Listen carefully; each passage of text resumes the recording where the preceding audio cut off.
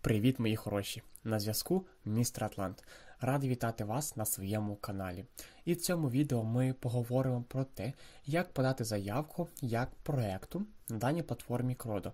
Це відео буде максимально корисно власне для майбутніх проєктів, але й також для усіх користувачів. Отож бо, ми починаємо. Ну що ж, ми оперуватимемо, як зазвичай, white-листом, тому відразу заходимо у white-лист. Серед усіх розділів обираємо розділ Apply as a Project. Тепер давайте розбиратися. Е, нам проект Кrodо пропонує готову вже форму, яку нам потрібно буде заповнити. Давайте натиснемо на кнопочку Кrodо. Нас перекинуло на дану форму для нових проєктів. Що ж ми з вами бачимо? А ми бачимо дану форму, яку потрібно власне заповнити. Яку ж інформацію нам потрібно вказати? Перш ніж вказати інформацію, ми з вами могли помітити, що даний тип заявки поділений на основну інформацію, інформацію про доповнення і контактну інформацію. А почнемо ми із пункту Основна інформація. Що нам потрібно тут вказати і, власне, заповнити? Перше, це ім'я даного проєкту. Нижче потрібно написати коротенько опис вашого проєкту, що він собою представляє, яку проблему вирішує і таке інше. Далі вам потрібно вказати посилання на ваш веб-сайт, і також потрібно вказати е, власне посилання на white, на whitelist проєкту. В пункті інформації про доповнення вам потрібно вказати наступне: це вашу ручку Твіттера і також Телеграму. І обов'язково потрібно вказати адресу гітхабу, зазначити адресу вашого е, логотипу також.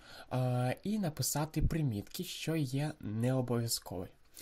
Е, що є не обов'язково, власне, так. Далі ми перейдемо до вказання контактної інформації.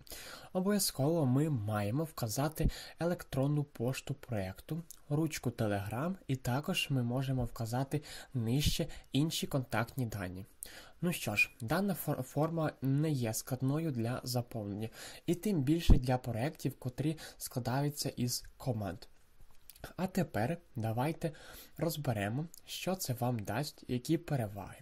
Отож, ви отримаєте безкоштовну рекламу вашого проєкту, що позитивно скажеться на вашому проєкті, котрий отримує багато-багато нових користувачів.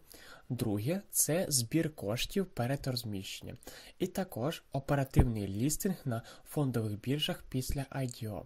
І саме приємне, напевне, для проекту це залучення залучення нових інвесторів, котрі будуть із вами та всіляко підтримуватимуть вас за будь-яких умов.